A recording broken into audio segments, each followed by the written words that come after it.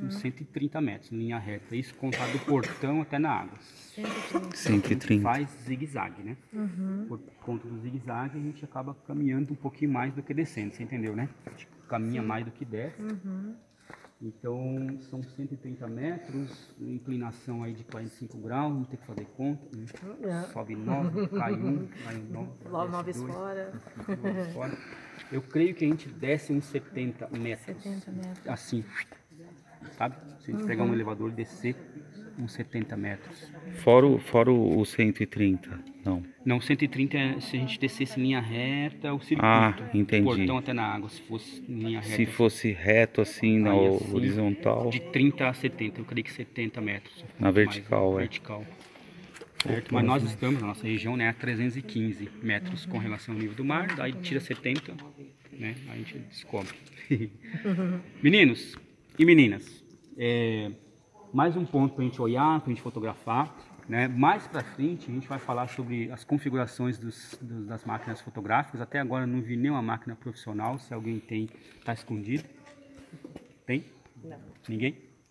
Então depois a gente vai falar sobre os celulares, tá? A gente vai é, falar como que vocês devem deixar. Por enquanto, pode fazer foto assim como vocês estão fazendo, porque a gente está distante, né?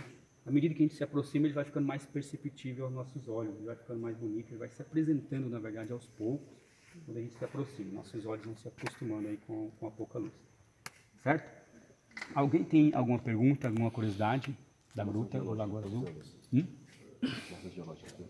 Da caverna? A pergunta mais difícil que um, um, um leigo como eu poderia receber, né? Mas vamos lá.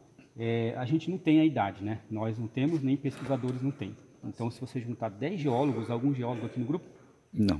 se a gente juntar 10 geólogos, aqui, ó, tem 10 informações diferentes sobre o mesmo lugar. Tá? Então, eu eu gosto de citar o Borgiani, conhece? Paulo César Borgiani.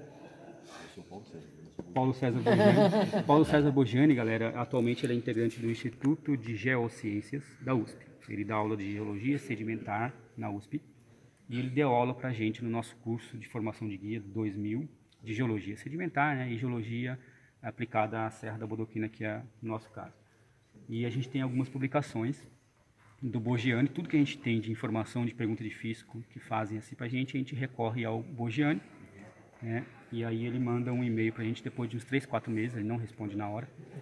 Só que ele não responde também, ele manda um link com um monte de termo técnico, informações científicas, né? E fala, lê aí, estuda aí, pesquisa aí, depois tem que ir pro, pro dicionário para interpretar. Mas enfim, tudo que a gente tem assim, de informação é baseado em, em- em, eh, publicações do Borgiani.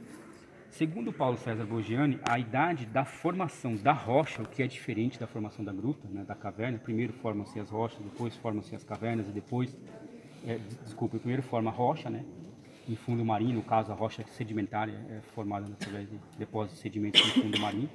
Depois, num segundo momento, forma uma grande cadeia de montanhas, que é conhecida hoje como Serra da Bodoquena, e por último, num terceiro momento, numa terceira fase, vamos falar assim, da formação geológica da região, começa a aparecer os espaços vazios, as grutas, as cavernas. Então, assim, a gente tem é, uma data de formação dessas rochas aqui do período pré-cambriano. Não sei se alguém arrisca dizer um número aí, você pode talvez me ajudar. Alguém arrisca traduzir esse número? Não?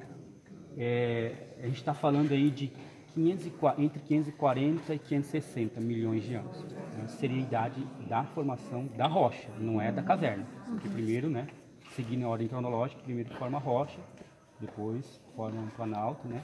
E por último a. a Quer dizer, foi de 500 milhões de anos para cá, não foi se bem- sabe quando. bem mais recente. Ah, bem mais Isso recente. é a idade só da rocha, né? E aí, Deixa, Camila? deixa, essa moça, deixa essa moça ficar aí. Bom, Veio passear hoje, Bom dia. povo animado, hein?